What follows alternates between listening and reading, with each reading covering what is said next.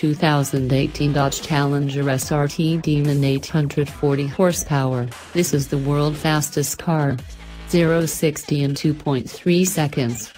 The Dodge Challenger SRT Demon pushes out 840 horsepower and 770 pound-feet of torque.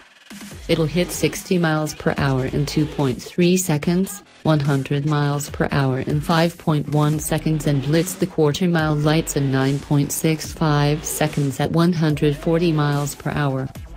1,500 horsepower Bugatti Chiron, fastest car ever built, would you spend millions of dollars for the Chiron or around $100,000 for the Demon?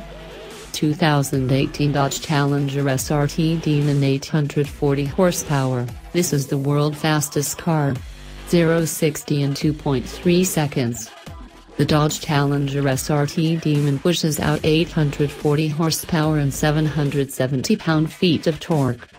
It'll hit 60 miles per hour in 2.3 seconds, 100 miles per hour in 5.1 seconds and blitz the quarter mile lights in 9.65 seconds at 140 miles per hour. 1,500 horsepower Bugatti Chiron, fastest car ever built, would you spend millions of dollars for the Chiron or around $100,000 for the Demon? While still getting similar power? Let us know below. The Chiron feature an 8.0-liter 16-cylinder engine utilizes four turbos to